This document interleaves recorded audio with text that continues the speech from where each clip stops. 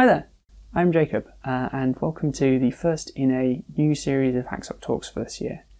Uh, today I'll be talking about uh, robotics and more specifically mapping in robotics, uh, because robotics itself is, of course, a very large area to talk about.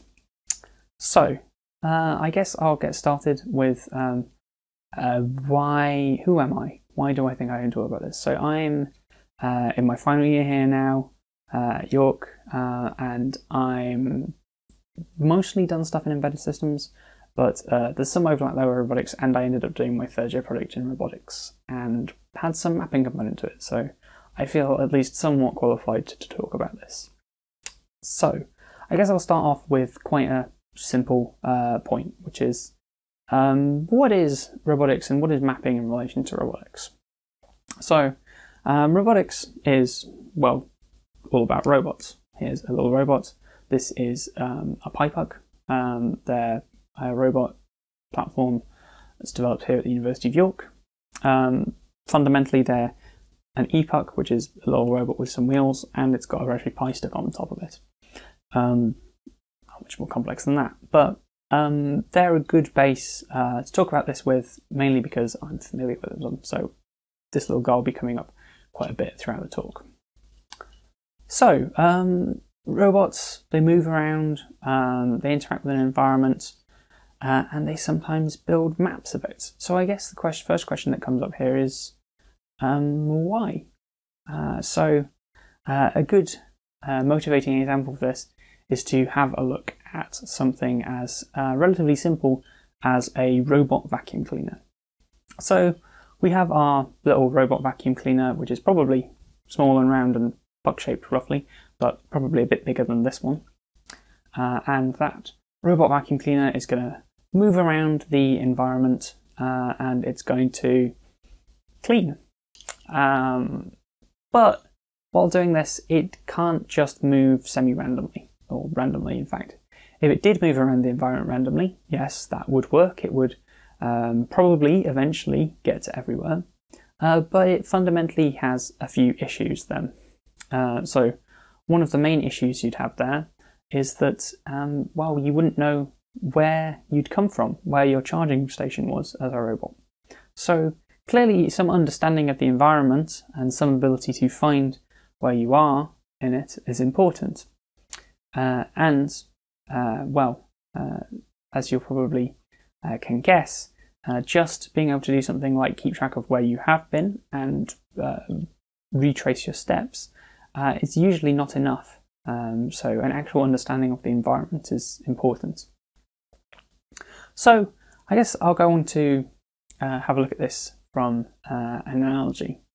Let's imagine we are, instead of um, our little puck robot or whatever, let's imagine we're a human, um, which you probably are.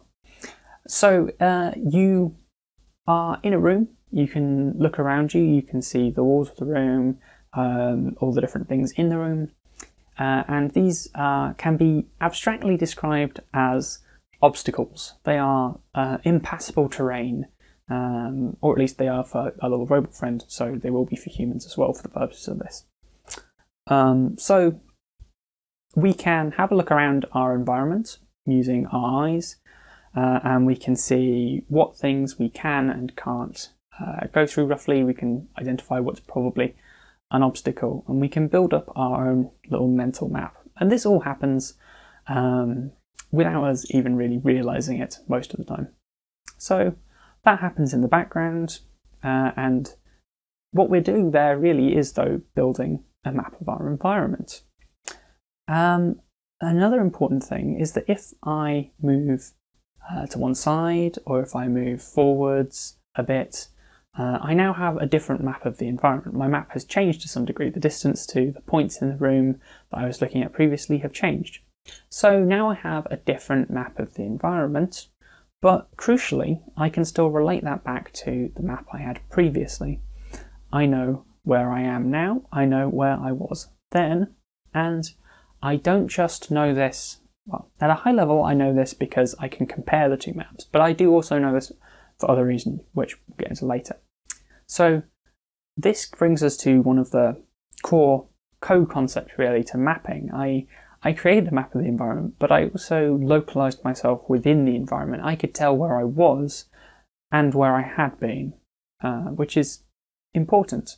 Uh, if we want to be able to find our way back somewhere, we need to know where we are, as well as being able to tell what our environment is like. So, um, that's kind of our analogy that we'll be using throughout this. We are uh, comparing the way robots move to the way humans move, and there's a lot of disparity there, but for the purposes of comparison, uh, it works. So, uh, let's look at, first of all, what a robot map actually looks like at all to begin with. Um, so, you should now be able to see, uh, if I have edited this correctly, which I'm sure I have, uh, a uh, picture of a pretty blocky map of an environment. Uh, this is uh, a map that was actually created uh, using um, PyPucks uh, to map an environment constructed in my parents' front room. So um, the lockdown definitely affected my project a tiny bit, at least. It was not as polished an environment as I would have wanted to map, but I'm sure you can appreciate that it's still basically the same thing. So we have this map of our environment, and you can see that there are blocks around it effectively showing us uh, what is impassable, um, or at least where there is an obstacle as far as we can tell. Um, this is sometimes referred to as an occupancy map. Um, so we can see what area of our map is occupied and what area is not. Now, one of the things you may be able to notice from this is that it's actually pretty granular.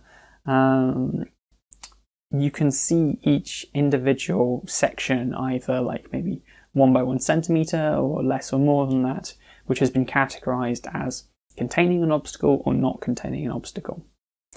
So this kind of map is a simple map, but is for the majority of tasks all that is really required. And even just a 2D map is usually sufficient for the majority of tasks. Um, say we've got our robot vacuum cleaner and it needs to get around the house and find its way back. That vacuum cleaner is not going to be going up and down the stairs, at least not yet. Um, so it doesn't need to have any understanding of the third dimension. Either it can get somewhere or it can't get somewhere. So looking at this map, we can see that there are clearly some occupied spaces and some unoccupied spaces. So what makes um, these spaces marked as this for the purposes of this map? What makes spaces occupied or not occupied? Well, there's a number of sensors here, and all of them we can talk analogously uh, about by comparing them to our eyes. Um, in that uh, we use our stereoscopic vision to be able to estimate the distance to different things, and there are a number of different methods that robots can use to do a similar task. In fact, one of them is stereoscopic cameras. So, just like our eyes, using the difference between two cameras at uh, different locations to be able to estimate uh, distances. This, however, is quite computationally intensive, and there are dedicated sensors that can perform this task uh, more efficiently. So, um, for instance, let's look at um, a PyPuck um, it has distance sensors around the outside. These are estimating distance based upon the amount of reflected light, reflected infrared light, and it also has expansion slots which can be used by uh, time of flight sensors, which will send out pulses of light and then estimate the amount of time, uh, the amount of distance based upon how long it takes for that pulse to get back. Now, this is quite interesting because um, this is actually not very good data for mapping because it's sparse data. Um, we can see there's quite a large distance, about 25 to 30 degrees on average, between each of these readings, uh, which means that there's not a um, consistency, there's not, not a, there big gaps in our data, sparse data. So, um, what works better than this is things like stereoscopic cameras or more comparatively LiDAR, um, which is uh, at its core, um, a similar concept to the time of flight sensors, but applied um, on a rotating reference frame. It's we somehow scan across an environment, making lots of measurements. Uh, classically, this could just be you're spinning some sensor, um, which is sending out pulses of light and then they're coming back. Uh, and that allows you to gather uh, information from lots of points around the rotation. Now, um, this can hopefully give you more dense data, um, that is, data that's uh, between maybe 25 degrees, every 2.5 degrees. Uh, that would give you much better information about your environment because then you've got more distance estimates. Now, this doesn't have to be across the full range of view, this could just be across the 180 degrees in front of it um, or similar. Uh, and again, this is comparable to human sight. There is differences here, and that um, with uh, distance sensors and things like LiDAR, um, some of them are 3D, some of them are 2D. So some of them you only see, uh, well, 1D or, or, rather, you only see distance in one dimension out, in, out around. Uh, in others, you also can see up and down a bit. Um, so you kind of get a spherical view. Um, but uh, either way, you are getting information uh, that is less. Uh, there's less information in there as well than with cameras because you don't get color and stuff like that. But again, it does tell you the important part, which is where your obstacles are. And this allows you to build up an occupancy map or a, an obstacle map, call it. So where we can see where there are impassable pieces of terrain around the place and where there are gaps in that uh, based upon where we don't get light coming back or we get of light um, or where it's just sufficiently weak that we think probably that's nothing there. So now, this does bring us back to the question of, sure, we have this map, we've constructed this map, maybe we've even constructed a map ahead of time just by hand, but we have this map of the environment. How do we tell where we are in that environment? Because if we're constructing the map in real time, sure, that allows us to see where obstacles are in relation to us so we can avoid them to some degree. But it importantly doesn't tell us um, where we want to go. It doesn't tell us where we are in an environment. It doesn't let us get to a particular location. Our little robot vacuum cleaner can't get back to its charging station still, or can't make sure that it's cleaned all of the house. So, um, we need to be able to perform something called localization, which I touched on earlier. Now, um, at its core, uh, the most uh, basic kind of this localization that you could think of is by taking our current map and comparing it to our uh, our big map or the map we've generated so far, we can see where it lines up and we can use that to estimate where we are in the entire map. This is reasonably good as long as you have dense uh, data, um, but it does have its flaws. Specifically, it's really hard to get accurate because you have the compounded inaccuracies of the fitting and all of your sensor information. Um, so this is usually used for large drift corrections. Um, it also takes quite a lot of time to be able to um, estimate your position. It takes a lot of processing power, relatively speaking.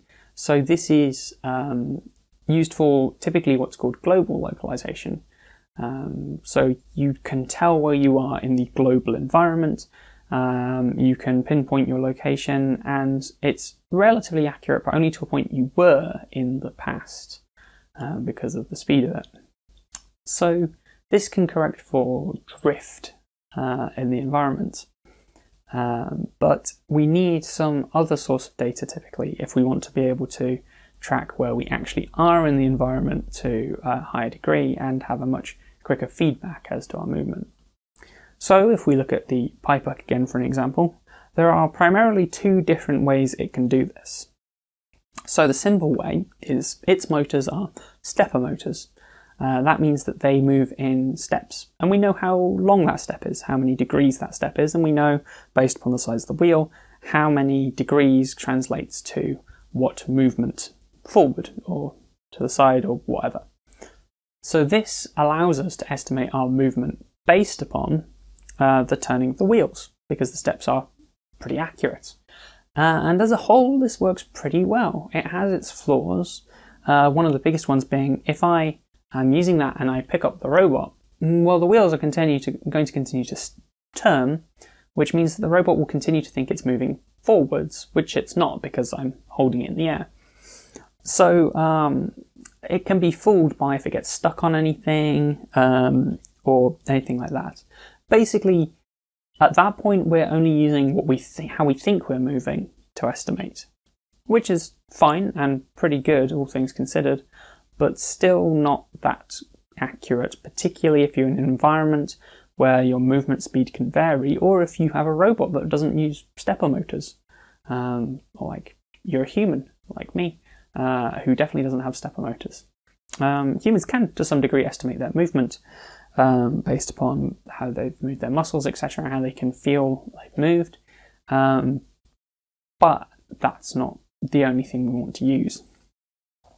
Uh, so, uh, just like that, uh, robots like the PyPuck have another sensor that can do this, or another series of sensors, uh, called the IMU, or the Inertial Measurement Unit. This allows us to be actually be able to tell things like our acceleration and our orientation, in fact, even the magnetic field of the Earth. Um, but we can combine this together to determine um, how the robot is moving through space. We can effectively integrate over acceleration and we can tell how um, the past acceleration has affected our location. So, given the acceleration at this point, how fast were we moving? Where would we be in relation to where we started? That kind of thing. Uh, and if we can do this fast enough, this can be immensely accurate. Uh, and now, when I say fast enough, I'm not talking tens of times per second, I'm talking hundreds of times per second.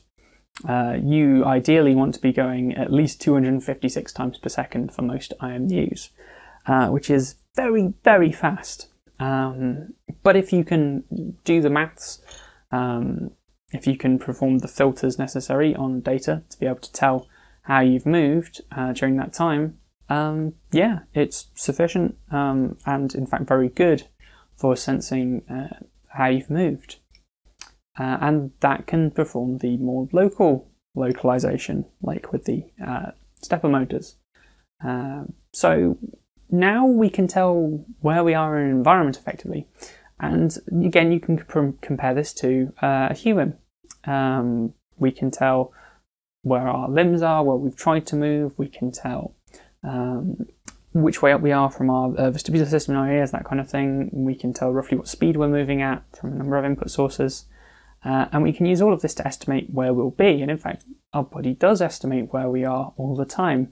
We're seeing the world as it was in the past, um, just as a robot is processing what has happened. Um, and so we have to estimate where we are. Um, now it's a bit harder for the robot um, because it, we have to actually, well, it's a bit harder for us with the robot because we've actually got to think of how it's supposed to do it. Whereas though for most people, it just happens. Um, but yes, so um, we now have our mobile. It can now move through the environment. In fact, if we can do both of these things at the same time, if we can map the environment uh, and know where we are within that environment, we are simultaneously localizing ourselves and mapping, or we're doing SLAM, as it's called. There's a phrase that gets thrown around a lot, but it just means simultaneous localization and mapping, uh, which is what we're now doing. So now that we've seen mapping in a more abstract light, um, we've seen uh, the localization, roughly what kind of uh, things are used for that, uh, it might seem like it's pretty simple task to do. We just look at our environment and we see where our obstacles are. Well, to some degree this is true, and to another degree it's a bit more complicated than that to say the least. So um, one of the biggest limitations for uh, mapping is um, the well, mapping and localization is the data that we get in.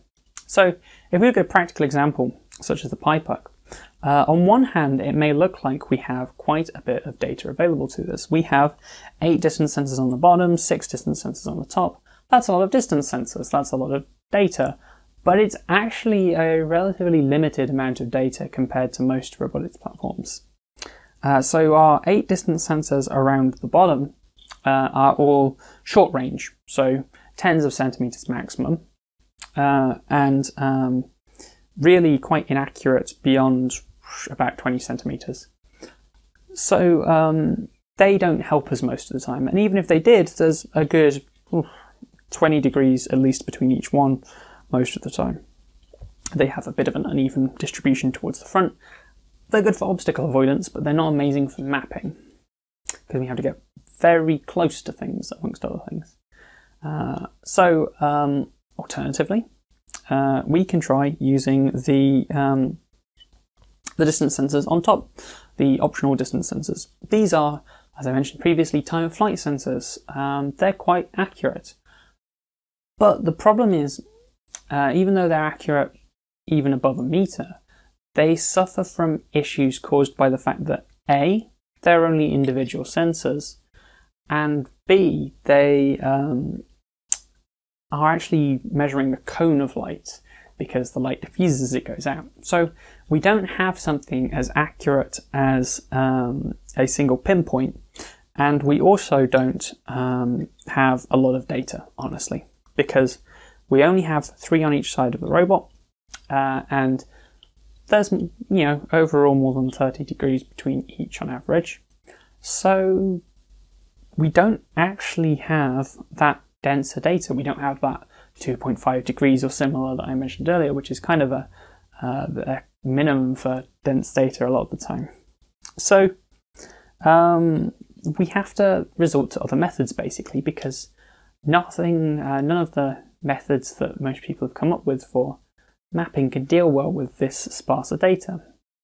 Um, maybe they can map with it, but they definitely can't localize in that, and they can't uh, really build up the trust in the environment that's required to perform that kind of mapping because um, you know the slightest change in angle can change what the result you're getting from the sensors, which is not what you expect really. Um, so the alternative to this, or rather extension of this, the one that I used in the end was to um, the simplistic one, which is just to interpolate between the sensors and create a virtual laser scan from that, or a virtual LiDAR scan, uh, either way.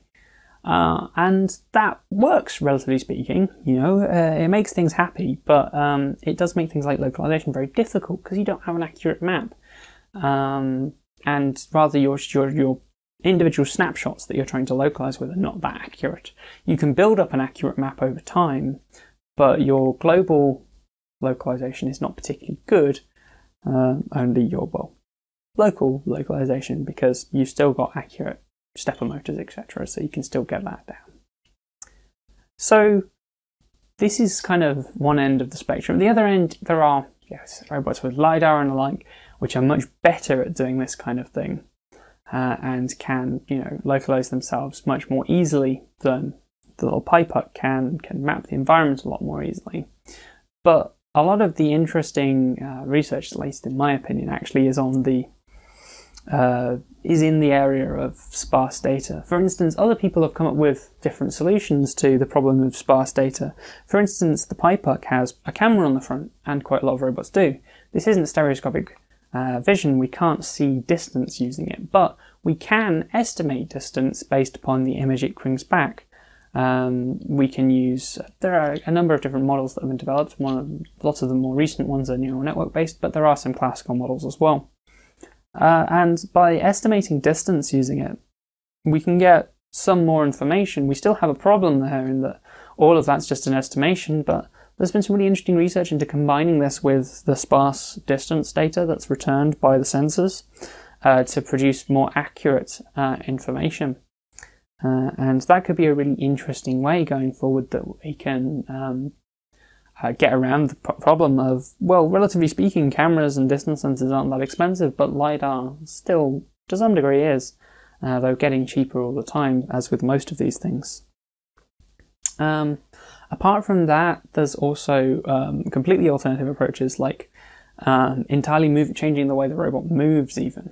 Uh, so, how it will move through the environment, and maybe it will pause and then it will rotate round slowly and there it's effectively doing the same thing we talked about was with LiDAR in the like it is trying to change where it's doing each of its measurements. So you imagine you're spinning, you're spinning LiDAR or whatever, um, but instead you're just spinning the robot, which does also work.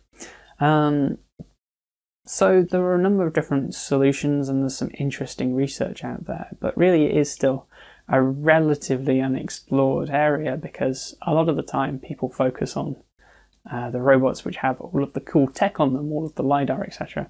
And not so much the robots that are more affordable and have a lot less sensors available to them. So, I think what you'll probably see in the future with things like this is probably is going to be a move towards just miniaturizing things like LiDAR, putting them in things and making them cheaper because in the end they produce much better results with a lot less effort. But um, you might not see uh, entirely that. My hope is that you get some interesting uh, research into the alternatives.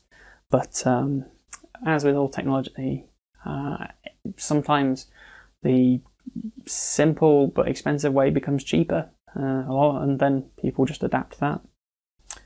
Apart from that, um, like mapping and um, localization is kind of one of those interesting areas where we have a lot of methods for it, um, and we can definitely do it, but there's still a lot more uh, optimization to be done on that. Uh, we're still in a world where um, you can just have random glitches and it thinks it's somewhere else. You know, you can work around this a bit, but um, you know, put in features to make this less likely. But at the end of the day, we are still estimating position, and there's still a lot more work to do. Uh, particularly, I think, as I've hinted at, I've said several times now, with different sensors, with sparse sensors, with dense sensors of different varieties, uh, and I have no idea what going forward uh, this kind of thing is going to look like, really, because you know there are so many different methods, um, and really this kind of technology is um, being adopted elsewhere now for different tasks.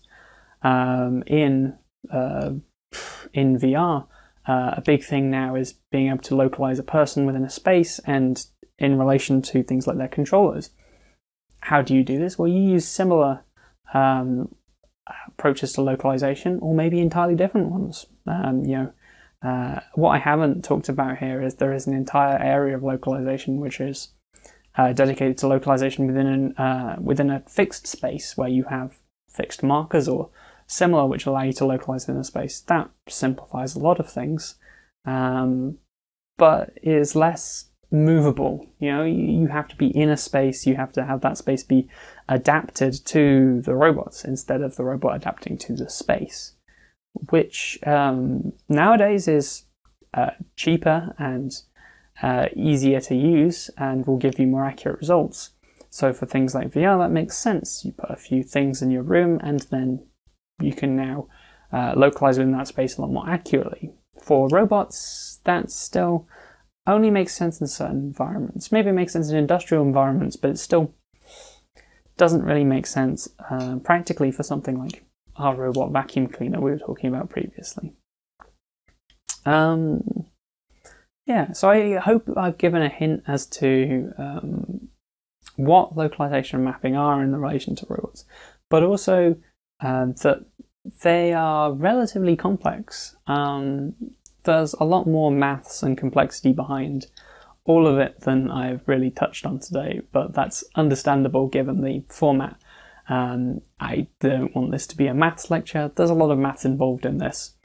Uh, and I will include in the references to this lots of links to learn more about the specific parts of this and specific um, algorithms and things like that that are used in uh, localization and mapping with robots. Um, there's some, in particular, there's some mathematical filters and things like that which are very commonly used. Uh, so yeah, uh, I hope I've managed to give an overview of um, all of that, uh, and I'd be happy to uh, answer any questions about uh, all of this um, mapping, uh, robotics, or talking more specifically about things like the PyPuck. Um, I have a few of them with me, which, yeah, I'm be happy to answer any questions like that in Discord after this, which I believe there'll be a link to in the description um, yeah, that's about it from me. Uh, thanks to everyone for uh, listening to me waffle on for uh, what's probably approaching half an hour at this point. Uh, I may have to edit myself down. I may already have done so. Uh, so um, yeah, uh, I'll also oh I'll also link to uh, my um, third year project if anyone's interested in seeing that. Uh, but yeah, that's it from me. Um, thanks very much for watching.